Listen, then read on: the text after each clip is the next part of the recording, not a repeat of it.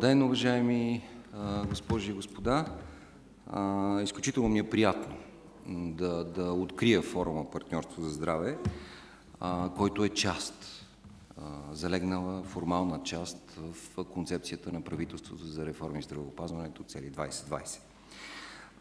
Дълбоко сме убедени, че успешната координация и, и, и активният диалог между всички заинтересовани страни в условията на максимална прозрачност, на публичност, са гаранция за взимането на оптимални решения именно в интерес на пациентите, заради което в крайна сметка е всяка една промяна в системата.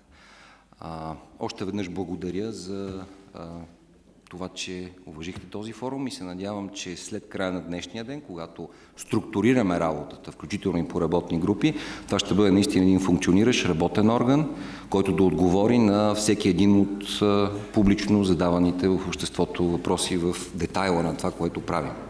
А, няколко думи върху, върху принципа. А, всеки път, когато се заговори за реформа в здравеопазването, всички, цялото общество има базов консенсус, че това трябва да се случи. В момента, в който се пристъпи към някакъв тип промяна, а, започват а, различни въпроси, къде е основателни, къде е неоснователни, къде съвсем смислени, върху които трябва да има ясно разработени правила, къде чисто лобийски. А, част от а, причините правителството да заложи в концепцията и такъв един форум, да изчистим лобийските причини, провеждащи своите, своите интереси през непублични канали от важните, смислени, принципни за обществото промени, които трябва да бъдат извършени, независимо от това, че за това има цена. От гледна точка на, на политическата рамка на реформата. щастлив съм да кажа, тук и в присъствието на председателя на, на Комисията по здравеопазване в парламента, след изслушването на концепцията на правителството Цели за здраве 2020 в парламентарната комисия по здравеопазване, която е отворена. Много от вас бяха на това изслушване. По същество всички политически сили в парламента потвърдиха, че политическата рамка и целите, които са заложени в концепцията, са точните. Нека да кажем, че дори възникна спор, независимо от това дали бяха представители на опозиционни или управляващи политически сили, чия политическа програма най-силно е застъпена в концепцията на правителството, което е добре, което означава, че ние наистина сме намерили правилния политически консенсус. Тоест, концепцията за реформи в здравеопазване на българското правителство към момента е безалтернативен политически документ за стъпките, които трябва да бъдат проведени в здравеопазването. Оттам нататъка дяло е в детайла. А, ние сме казали нееднократно, че 2015 година е година на запушване на пробойните с оръжията, които има държавата и на изработване на законодателната а, и подзаконовата юридическа рамка на реформата. А, доколкото дяло е в детайлите и имаме ясен обществен консенсус по целите и по стъпките за достигане на тези цели, а, форума партньорство за здраве трябва да бъде тази обществена среда от всички, всички страни, а, участващи а, в а, този диалог, за, отново повтарям, при ясна прозрачност, при максимален обществен консенсус и изработване на детайлите, на стъпките за подобряване на състоянието на здравната система в България. А, и се надявам, че след днешния ден ще имаме наистина една, а, една работеща такава обществена структура която разделена и в съответните работни групи, съвсем овреме ще консултира, ще дава мнението си и ще се противопоставя на очевидно неразумни идеи, които идват от страна на правителството, защото това не е изключено, нали така? А, тоест, партньорство за здраве е отговора на правителството на не винаги основателните публични притеснения и поставяне на масата на всяка една стъпка в здравеопазването до последния детайл. Публично, пред медиите, заедно с всяка една организация, заедно с индустриите, които участват в този процес, т.е. търсене на максимален консенсус, което е част от целите на правителството. Наистина още веднъж благодаря. Благодаря на министър-председателя, че намери време да уважи е, този форум и ще го помоля за встъпителни думи. Уважаеми колеги, за да бъде успешна една реформа, тя трябва да мине през няколко стъпки. Най-важното е политическа воля да има, за да се осъществи. След това Политическата воля има смисъл, ако стратегията, която е приела правителството, предложена от министъра, е в правилната посока. Иначе няма нищо по-лошо от това да проявяваш воля за нещо, което е грешно. Как можем да преценим дали това, което правим е правилното? Разбира се, всеки когато прави нещо, мисли, че е най-правилното. Трябва ни коректив. Кой е коректива? Коректива сте всичките ви. От Лекарския съюз до пациентските организации, през всичките тук табелки, които виждам пред мен. Стратегия има, в парламента консенсус има, желание за подкрепа законодателна има там, където е необходимо. Министър с екип, който има воля да го направи. Сега искаме максимална прозрачност, публичност, дискусии, за да може, ако някъде в детайлите сме залитнали или има по-добър вариант, би могло винаги да се предложи от вас хора с опит, виждам някои доста познати от години в бранша лица, могат да помогнат. Именно за това с това партньорство за здраве, и то много добре звучи, защото по-ценното от здравето няма. Всеки казва, здраве да е, другото ще го правим. Деца вика и свлачища, и срутища, ще ги оправим. Здравето не се ли оправи на време, е лошо. Така че аз се радвам на Министерството на здравопазването и на парламентарната комисия, че с днешния форум си осигурява на практика един истински коректив, максимална публичност, нищо от това, което правиме да не остава зад кулиси или зад сцена или в интерес или лобизъм на дали, дали производители на лекарства, това, което се говори в публичното пространство, дали тези, които внасят медицинска апаратура, дали някъде не се работи с една апаратура и държавно, и частно. Куп въпроси, които ние сме длъжни да отговорим. А по този начин, имайки стратегия, имайки ясни стъпки за напред, това ще стане. Така че аз ще ви пожелая приятна работа, че са от Европа хора, които имаме, няма как да, да ми изчакат, а и много успехи. Пълна подкрепа има програмата от правителството и стратегията, дори с, ако така върват приходите в бюджета, съм обещал и на министър Москов по спешната помощ с едни хеликоптери, защото е важно и ще е добре, но днеска това ни е изключително важно и браво, че сте го направили. Пожелавам ви успехи и и довиждане.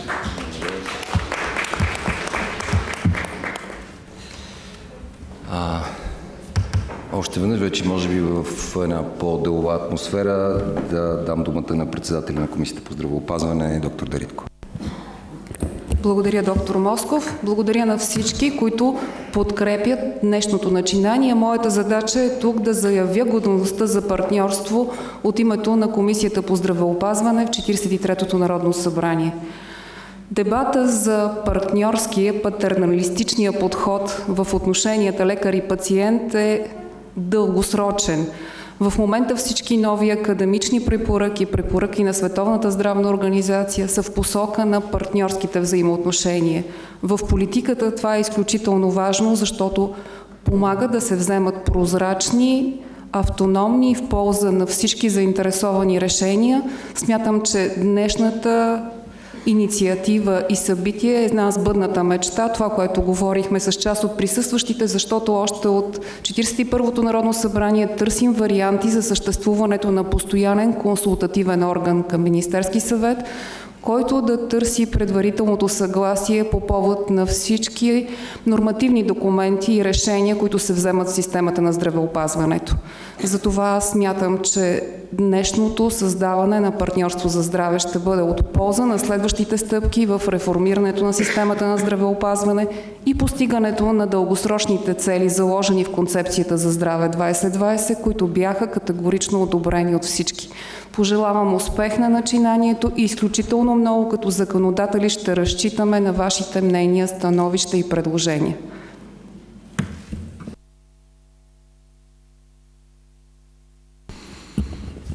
благодаря на доктор Дариткова. Вие всички имате предложението за дневен ред.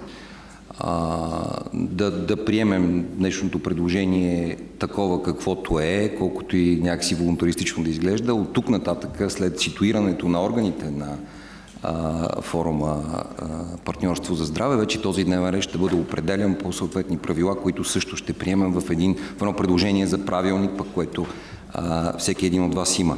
Нека да кажем, че партньорството за здраве всъщност има не просто българското, а европейското си измерение.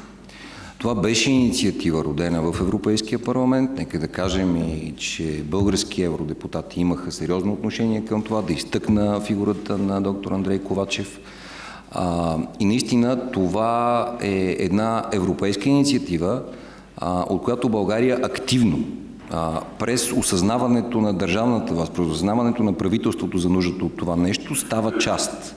По същество България е една от първите държави, която приема този европейски модел на, на изработване на политики в сферата на здравеопазването като а, нужен и надявам се работещ. А, в тази връзка а, искам да дам думата на доктор Хасърджиев, който съвместява и функцията на главен секретар на Европейското партньорство за подобряване на достъпа до, до здравеопазване, председател на, на Националната пациентска организация, за този ракурс, за този аспект на партньорството. Уважаеми господин министр, уважаема госпожо Дариткова, уважаеми партньори, присъстващи в залата. Днес наистина е изключително важен ден за всички нас, които сме в тази зала, за медицинските специалисти, за съсловните организации, за пациентските организации, за индустрията, за държавните институции. Отдавна сме обсъждали помежду си необходимостта от създаването на един такъв консултативен съвет по една толкова важна тема, която е здравеопазването. България наистина има нужда от консенсус по провеждането на политиката и аз, господин министр, ви поздравявам, че вие сте първи министр след множество опити, които сме правили заедно с съсловните организации и с всички други тук в залата, който реално да създаде този постоянно действащ консултативен орган за правенето на здравна реформа в България. Аз бих искал да добавя нещо към това, което казахте за европейското партньорство. Да, европейското партньорство беше създадено само преди два месеца. На 27 януари комисарят по здравеопазване даде началото на европейското партньорство в Европейския парламент заедно с група от депутати. Но всъщност историята на европейското партньорство е много по-дълга и тя започва тук, от София. И съм горд, че от България тръгна една инициатива, която прерасна в общоевропейска инициатива, а също така съм горд, че България не е от първите държави.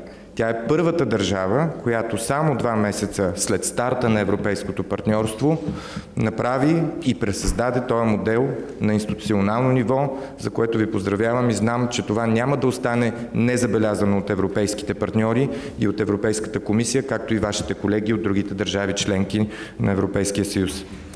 Припомням съвсем малко история как всичко започна – всичко започна преди няколко години, през 2012 година, когато под егидата на тогавашния министр на здравеопазването госпожа Десия Танасова се проведе първата конференция на тема Здравните неравенства в новите страни членки на Европейския съюз.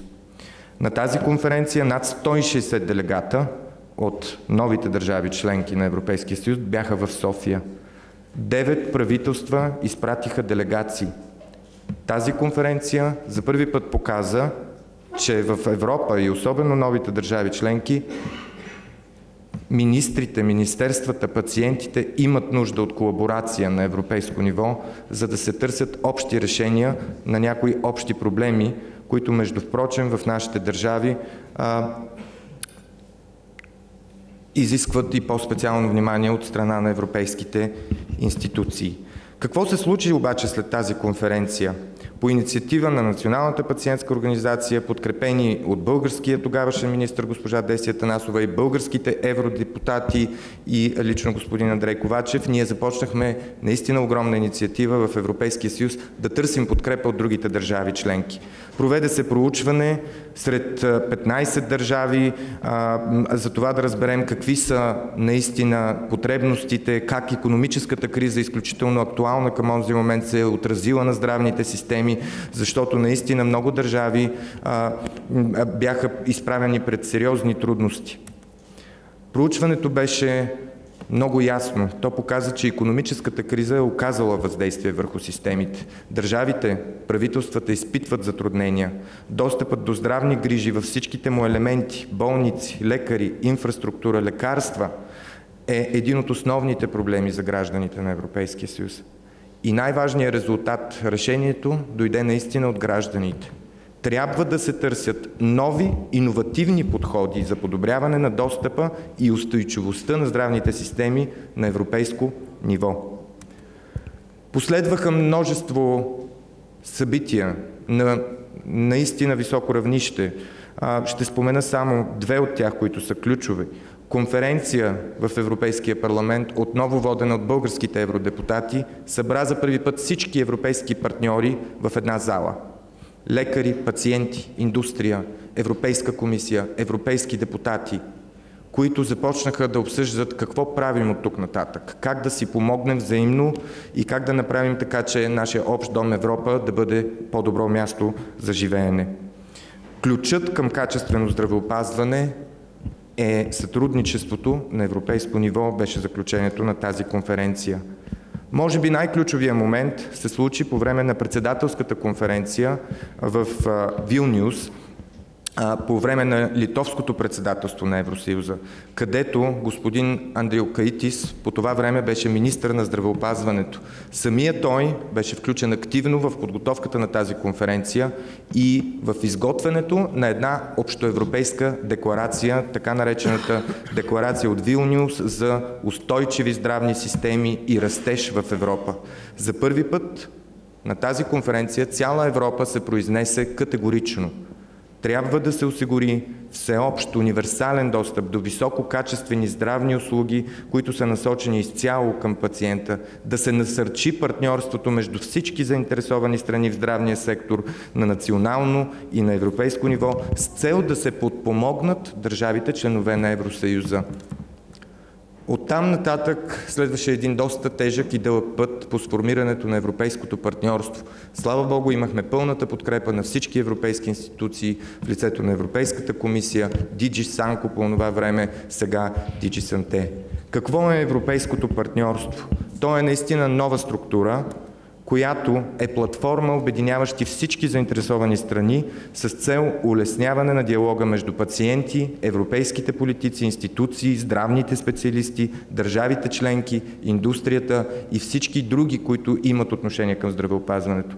Целта е на европейско ниво да се намерят решения, които ще подобрят достъпа до качествени услуги в Европа, но и които ще помогнат на държавите, ще подпомагат държавите членки по всякакви начини и механизми да преодоляват пречките и проблемите. Защото на нас ни е ясно, че държавите членки полагат усилия, но понякога са необходими и общоевропейски усилия за постигане на по-добър резултат.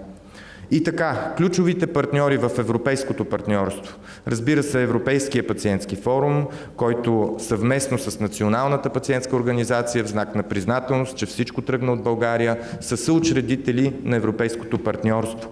Партньорите там са Standing Committee of European Doctors, чието български членове са Българския лекарски съюз, Европейската федерация на медицинските сестри, чието български членове са Асоциацията по здравни грижи, Европейската Европейския Public Health Alliance. освен това, в Европейската асоциация на фармацевтите, чието партньори също са тук на днешната маса, множество други партньори, включително фармацевтичната индустрия, чрез техните европейски асоциации, включително индустрията, която представлява медицинските изделия и технологиите в здравеопазването. Множество са партньорите, близо 30, които не съм изброил всички, но модела, по който тръгна европейското партньорство, се оказа изключително удачна форма за търсене, търсене на решения. А ето а, и Какви са решенията? Преди това обаче, всъщност ключовия момент, който анонсирах, беше обявяването на 27 януари, лично с комисаря по здравеопазване, на старта на това партньорство. Огромно събитие, за което залата в Европейския парламент се оказа тясна да побере всички партньори, които се включиха в тази инициатива. Щастлив съм, че за първи път в Европа българи наистина бяха водещи по едно толкова важно толкова важна инициатива, която дай Боже да доведе до промяна в Европейския съюз. Какви обаче са целите и с какво се захваща европейското партньорство? Неща много конкретни, които надявам се наистина да бъдат от полза на държави като България. На първо място Европейския съюз може да въведе механизми, включително и финансови механизми, които директно да подпомагат държавите членки в преодоляването на пречките и бариерите в техните здравни системи. Партньорството с европейски институции с цел подобряване на стандартите и достъпа до качествени здравни грижи. Чувал съм много пъти европейски депутати, а и политици, които винаги са задавали въпроса защо в Европа имаме стандарт за кокошките, защо в Европа имаме стандарт за размера на яйцата, на краставиците и на царевицата, а здравеопазването ни е толкова различно? Може би а, бихме могли да вървим към един път към по-качествено общо здравеопазване в Европа и аз съм убеден, че чрез общи усилия проблемите ще бъдат решавани. Важен момент и това е четвъртата приоритетна сфера. Няма как Европейския съюз да подпомогне държавите членки, ако не знаем къде са проблемите, къде са пречките и бариерите. Поради тази причина една от основните цели на европейското партньорство са да се изследват пречки, бариери, трудности, които се сблъскват държавите, които се сблъскват лекарите, работещи в тези държави, пациентите, индустрията, за да може да се вземат адекватни а, мерки, да се създадат такива механизми, които да улесняват член, а, държавите членове на Европейския съюз в правенето на тези реформи. А, Разбира се, сред темите, които ще бъдат обсъждани, са така актуалната тема за цените на лекарствата, тема, която не веднъж е повдигана. Дори доклад на Белгийското председателство още през 2010 година ясно казва, че тази система, която действа в Европа, тя ощетява най-вече малките държави членки и по-бедните държави членки. Трябва Европа да вземе решение, което да облегчи държави като България и за това аз съм щастлив, че а, бях посочен, избран от всички партньори да бъда генералният директор на това партньорство.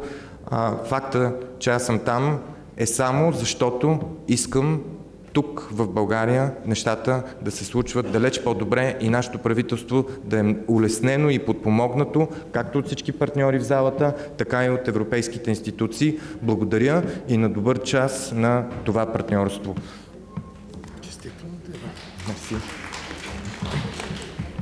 Благодаря на доктор Хасраджиев. Колеги, виждате, виждате структурата, на която разчитаме. решение и подготвяне на инициативи на ниво Министерство и комисия. Виж обсъждането им в Виш медицински съвет като дълбоко експертен орган. И публичното обсъждане на всички, всички, повтарям, страни в този диалог в рамките на партньорство за здраве. И едва тогава превръщането на тези а, заложени, заложени а, параметри в реална а, държавна политика. А, ще си позволя една, хайде да го наречем, кратка презентация, която може би ще повтори част от нещата, които, които до, сега, до сега казах. Мисъл, целта на партньорството за здраве е публичност и прозрачност в провеждането на здравната политика. Партньорството за здраве е постоянно действащ консултативен орган. Тук има формална грешка към Министерски съвет, а не към министра на здравеопазване. Включва всички заинтересовани страни в сферата на здравеопазването, държавни институции, съсловни организации, представители на медицинската обществена заведения, индустрията, национално представените пациентски организации. Целите на партньорството постигане на широк обществен консенсус при провеждане на здравни политики и осъществяване на реформи в сектора за здравеопазване. Осъществяване на активно сътрудничество и участието на гражданите в процеса на формиране, но и на мониторинг и на оценка на здравните политики. Тоест и последващ, последващ контрол. Ние правим нещо, след което оценката за това също минава през този форум. Да обсъжда и приема становища по проекти на нормативните актове в областта на общественото здраве. Създаване на междусекторни връзки. Не случайно тук има различни представители, както на пациентски организации, така и на индустрията в засилване на колаборацията на всички партньори за внедряване на планираните мерки във всички политики, не просто в политиките на здравеопазване. Целите на партньорството. Подобряване на обществения контрол в разходване на публични средства за здраве, нещо, което всички казваме, че трябва да се случи, но все се противопоставяме на какъвто и да било модел за това. Подкрепа при формиране и провеждане на политики за подобряване на достъпа до съвременни ефективни медицински услуги на пациентите проучване и анализиране на потребностите на пациентите и на заетите в сферата на здравеопазването. Осъществяване, разбира се, на връзки в международни партньори, в това, в това число Европейското партньорство, което е, а, как да кажа, следващия етап, защото наистина има политики, които извън общо европейските идеи на партньорството за здраве, а, ние трябва да идентифицираме, да дефинираме и да представим наистина на европейско ниво, където да има същата като структура организация, която да може да лансира това нещо на европейско ниво, извън чисто държавните, чисто официалните държавни механизми това да се случва. Предложението за структура а, на форума. Председател, колкото и да се дърпах, тази роля би трябвало да бъде отредена на мен. А, и тук съжалявам, че, че не, се, не се вижда до край на това, ако можем да подобриме качеството на този слайд по някакъв начин. А, но идеята е следната. Трима заместник председатели. Един заместник председател е избран между общността на съсловните организации и организациите на изпълнителите на медицинска помощ. Друг заместник председател, да го наречем най-общо между представители на различните клонове на индустрията и трети заместник председател, избран между национално представените пациентски организации. Тук, извън ролята на, на всички държавни институции, трябва да има и категорично двигател, оперативен двигател на това, който да бъде и секретар на съответно форума. И надолу, под тази формална структура и да кажем хората, които така са част от организирането на процеса, трябва да има много ясни, конкретни по определени теми работни групи. Вие ще видите това, което предлагам. Нека да кажа следното. Възможността това да не бъде поредната говорилня на тема здравеопазване е свързана с сериозна дисциплина и на говора, и на ума, и на работата. Тоест, а, целта на днешното занимание от моя гледна точка, разбира се, ако а, форума има нещо, някаква различна идея, ще реализира, е да структурираме работещи групи, работещи механизми, където различните мнения да бъдат отчетени и на следващото заседание на този форум те да бъдат изнесени като, като дейност от резултат от дейността на групата. А, наистина за мен би било, как да кажа, симптом на това, че, че тази идея, която като че ли всички одобрявате, няма да сработи, ако това се превръща в поредната говорилня и желание някой да, да, така, да манифестира себе си. Или вършим работа заедно, като екип, всички, всички организирани в това нещо, или имаме възможността пред камерите да кажем къде ни боли и да отидем вкъщи и след това пак да казваме къде ни боли, като между другото не сме свършили никаква работа.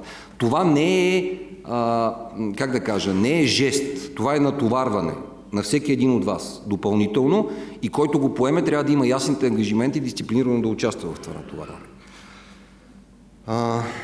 Така, принципите за работа, които, които предлагаме на партньорството. Заседанията са публични и открити, както днешното. Партньорството ще търси консенсус по важни въпроси, касаещи здравеопазването. В постоянните и временни работни групи, защото извън постоянни, които а, така ще видите нататък в презентацията, има когато възникне нужда, може да има временна работна група, към която извън формалния състав на този форум, който е поканен тук, могат да бъдат привличани различни други експертизи или организации. Дневният ред, че включва актуални теми от здравната реформа и опазването на общественото здраве. Предложенията за приоритетни области. Първата приоритетна област – реформата в организацията на здравеопазването. С подтеми, по които всяка една от тези работни групи трябва да, да постигне консенсус или да даде своята оценка за наличните документи и идеи. Първо националната здравна карта, след това разширяването на обхвата на извънболничната помощ, оптимизиране на правилата за листата на чакащите, финансирането на а, системата на здравеопазване. Разбира се, много други подтеми вътре в рамките на това. Втора голяма тема – лекарствената политика.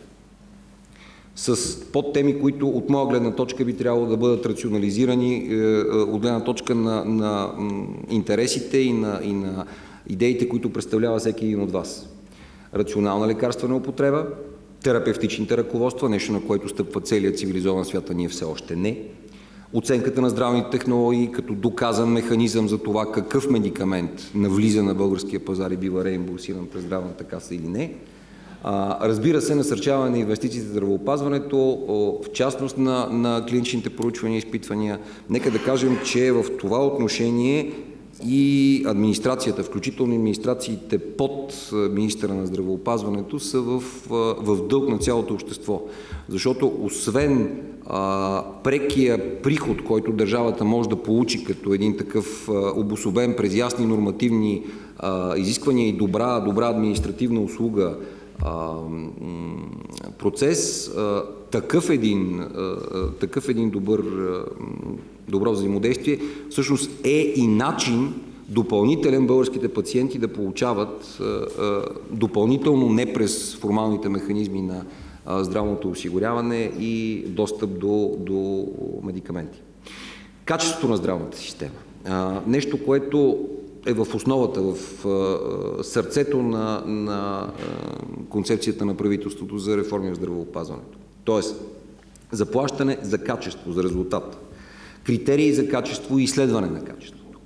Изследване на удовлетвореността и потребностите на пациентите и на заетите в здравната сфера. Права и задължения на пациентите и заетите и разбира се арбитражните комисии. Забелязвате, че във всеки един от детайлите, или ако не забелязвате, аз да, да направя така, че да забележите, във всеки един от а, а, предложените подтеми, във всяка една от големите, големите групи за дискусия, всъщност са заложени а, всяка една от а, дали с добро, дали с лошо изказани публично неясноти пред това, което предстои в сферата на българското здравеопазване. Тоест, всяка една от тези теми с формирането на днешния форум става максимално публична като дискусия, максимално отворена за идеи а, и след като бъде приета, приета с максимален обществен консенсус. Тоест, работата по тези приоритети всъщност струшава на клеветата за Б. А, нека да спрем а, с а, това до тук. Това е предложение за начина по който да бъде формирана а, работата на а, партньорство за здраве. Всеки един от вас а, в течение на, на, на последващата дискусия, в течение на приемане на правилника, в течение на формиране на тези работни групи ще намери своето място там, където би се чувствал най-полезен. А, това, което отново призовавам е а, дисциплина на действието и говоренето. С което а, бих искал да помоля, предлагам формално, приемете го за последния волонтаристичен акт а, за, за днешния ден, предлагам а, доктор Хасарджиев за секретар на а, форума и моля по технологията на, на, на структурирането на форума, оттам нататък той да поеме модерирането на дискусията. Благодаря. Благодаря, господин министр. А, аз бих искал да стартираме сега една дискусия по предложените теми, защото това са изключително важни теми. Но преди да влезем в детайлите, а, ми се иска основните партньори, които се намират тук в залата, с които от години наистина работим по това да се случат нещата в такъв порядък, а, да изкажат своето мнение, което е, може би, най-важното в днешния ден. А, тук словните организации. Аз предлагам да стартираме с тях доктор Ирданов. Добър ден на всички, уважаеми господин министър, уважаема госпожо Дариткова, председател на Здравната комисия, уважаеми колеги. Когато идвах насам към този форум, се сетих за едно предание, преданието за Ханко брат. Лесно е щупил една пръчка. Всичките пръчки просто няма кой да ги щупи. Когато говорим за реформа в здравеопазването, ако не сме всички заедно, тя просто няма как да се случи.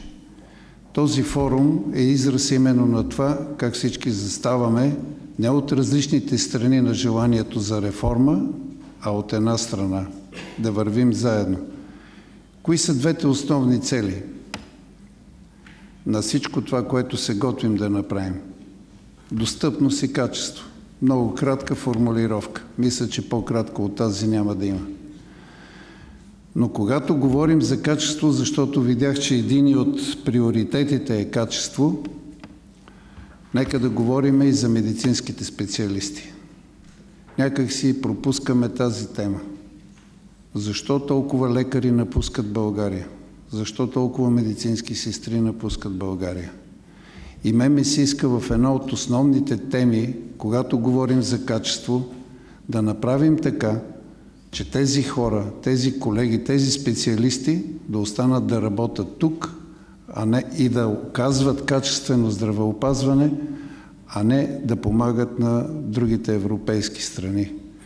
Така че една от важните теми, които според мен трябва да се дискутира и по която трябва да постигнем консенсус, е именно как да задържим младите български лекари.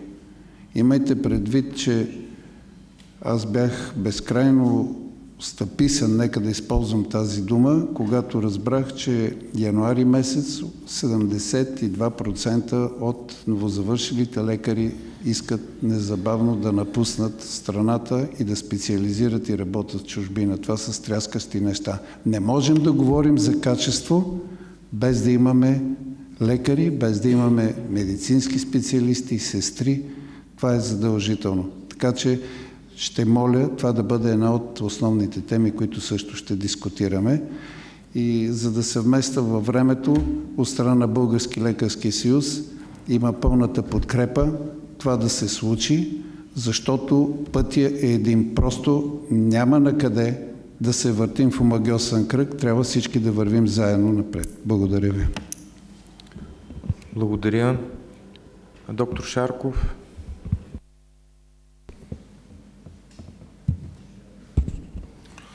Добър ден на всички.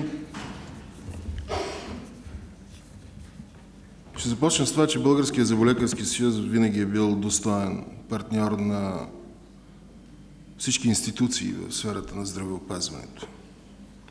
Като визирам институции, говоря за законодателна, за изпълнителна власт и неправителствени организации, защото и неправителствени организации за мен са институции.